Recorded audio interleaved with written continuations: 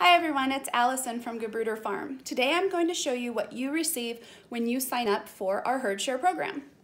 First of all, you get a freezer bag. Each member gets a freezer bag. We highly recommend that you keep your freezer bag in your car at all times so you always have it when you come to pick up your milk. If you are headed to the grocery store or doing errands, we highly recommend that you grab a couple freezer packs. They are in the herd share freezer. We just ask that you wipe them off and bring them back next time so another member can use them.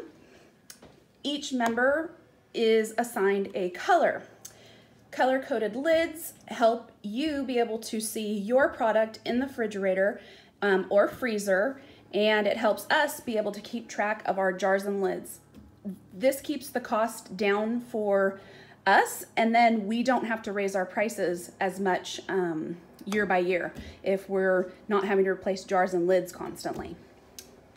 Each member is going to receive three brochures um, from the Raw Milk Institute. Raw Milk Institute is fantastic organization. They really set the standard for raw milk producers like us.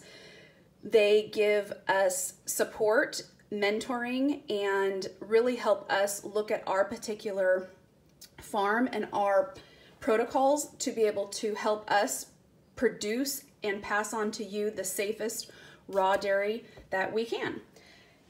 We have our welcome letter and we have our happy handling habits.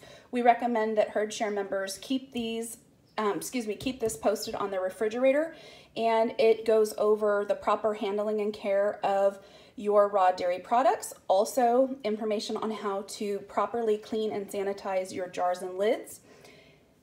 Then lastly, we have our herd share guidelines that go over our fees and pickup and anything else that isn't um, listed in our contracts. So that's it. Um, we are really excited to welcome you new members and um, welcome to our, our community. We look forward to providing you with the best raw dairy that we can. And in the future, we will be having herd shares um, that extend to pork, beef, and lamb, and also providing you guys with produce. And we look forward to meeting you all, and we'll see you soon.